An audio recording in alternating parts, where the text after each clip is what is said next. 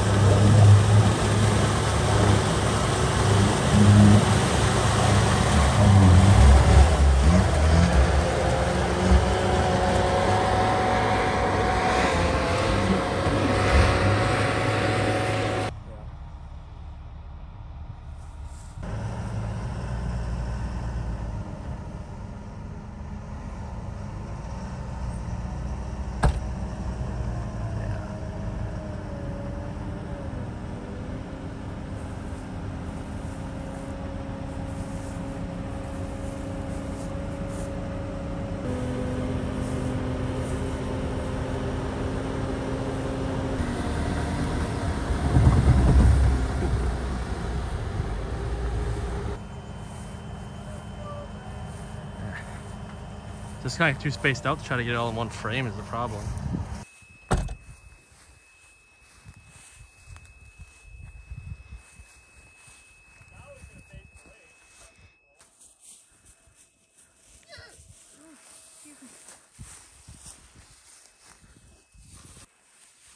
Yeah, so this is the 10 wheel drive Sherp Ark. It's the only one in the US. This thing can carry, uh, don't quote me on this, uh, I'm pretty sure it's either 22 or 24 passengers in total. It's 18 in the back and then I think four in the front. So yeah, that'd be 22, I guess. Uh, this thing is a freaking beast. And you can go all-wheel drive and all 10. You saw us in the water. All 10 wheels spinning. And that right there is the Sherp Pro XT. Then we had some older Sherp Pros down there. But these are definitely the most capable off-road machines on the planet. They are, they're awesome. Got Oscar here getting ran. he can't see you either. He probably didn't even know.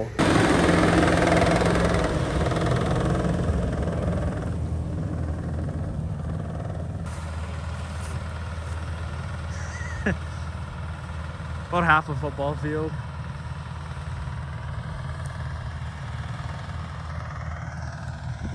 Guess the grandpa's gonna be yelling at me too. So there it was, testing out the only 10 wheel drive Sherp that is in the United States on the water for the first time. Before I end this video, kind of got this thing parked off to the side right now. I just wanted to show you guys the inside of this thing a little bit. I've showed you guys a lot of the other Sherps because um, if you guys don't know or new the channel, I manage the largest Sherp dealership in the United States, Sherp USA. Uh, it's, it's, it's my full-time job now, so this is what I do. Um, if you guys are enjoying this, I would love to do more Sherp videos because it'd be easier. It's easy for me to do this content because I'm out, out doing this all the time. Uh, this thing drives completely different than any other Sherp. Any other Sherp has two levers that you pull back. It's a clutch and brake system. This thing, well, it's called an arc because you can arc it down, you can arc it up to get over obstacles, uh, just like you saw in the video when we were climbing in and out of the lake and arced it up for the pictures, the photo shoot that we did for our Sherp USA Instagram. Um, you can also arc the back side to side um, to just really get over any obstacles that you need to do. This is also the only Sherp with a brake pedal. Sorry, I'm scrubbing now. I actually just edited the first half of this video and came down here to finish it. Uh, but yeah, only Sherp with a brake pedal. Kind of weird.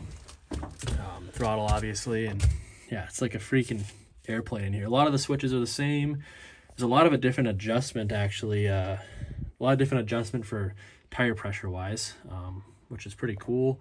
You can actually, on those Sherps, the tires are all connected in one main inflation system, so you air all four tires up and down together. On this one, it's a little bit different.